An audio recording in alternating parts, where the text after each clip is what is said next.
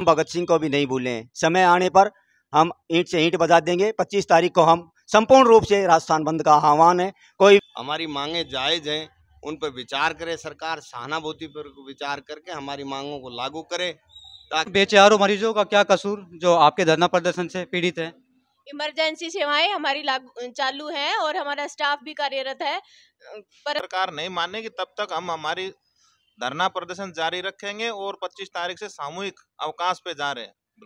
क्या मांगे हैं आपकी? मांगे हमारी ग्यारह सूत्री मांगे हैं विवेक भाई। इसके अंदर बाबा क्या कह रहे हो? धरना प्रदर्शन कर रहे हैं नर्सिंग स्टाफ अरे सरकारी हॉस्पिटल में। वो तो ज़बरदस्ती कर रहे हैं। तनखा पहले ही खूब दे रही है सरकार। इनसे कोई फ़ायदा नहीं है। ये कह रहे हैं हमारी मांगे हैं ग्यारह मांगे हैं।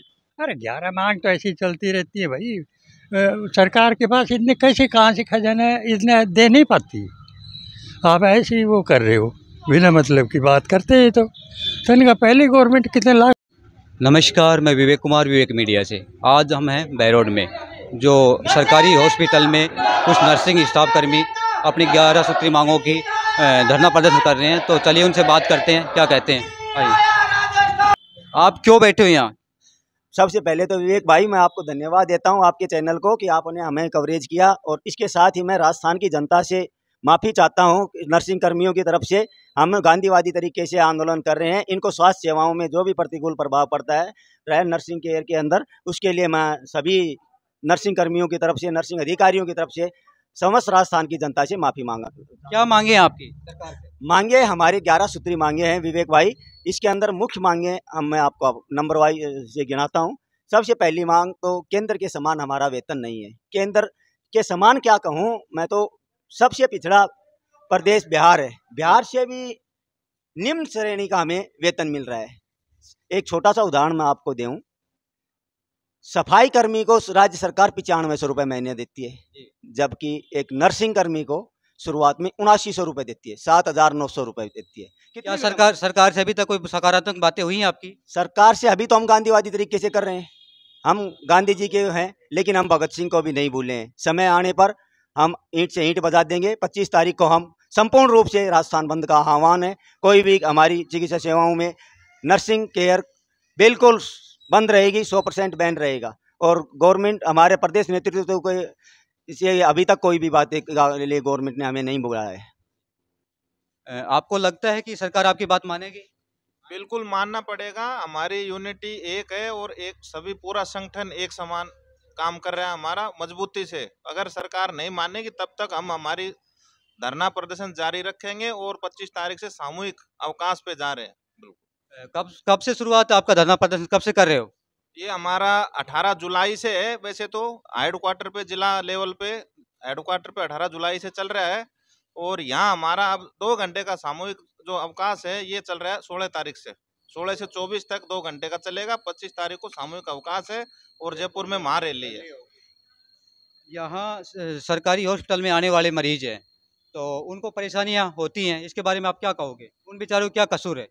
उनका कोई कसूर नहीं है, पर हमारी बातों को सरकार तक पहुँचाने के लिए हमारे पास यही ज़रिया था। और कोई ज़रिया नहीं, हम शांति प्रिय गांधीवादी तरीके से आंदोलन कर रहे हैं, हमारी मांगे जायज़ हैं, उन पर विचार करे सरकार, सहानुभूति पर विचार करके हमारी मांगों को लागू करे, ताकि हम पब्लिक सेवाओं से हम भी व्यथित हैं। अगर जनता की हमें सेवा करनी चाहिए, लेकिन हमें मजबूरी है।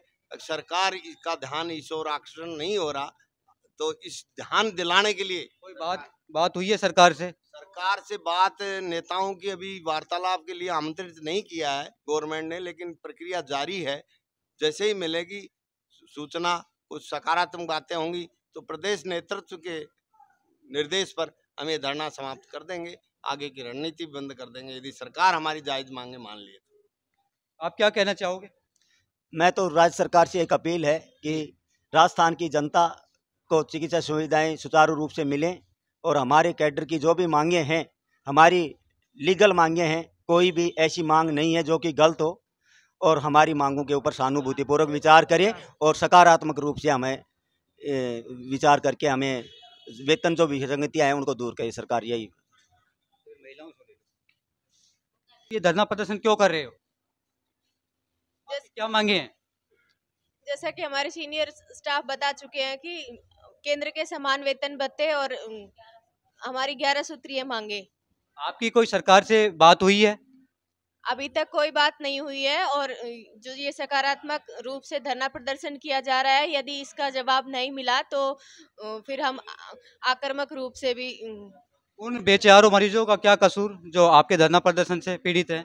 इमरजेंसी सेवाएँ हमारी लागू चालू हैं और हमारा स्टाफ भी कार्यरत है पर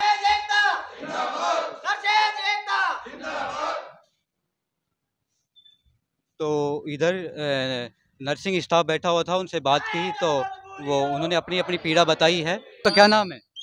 मेरा रोहतास। कहाँ से हो आप?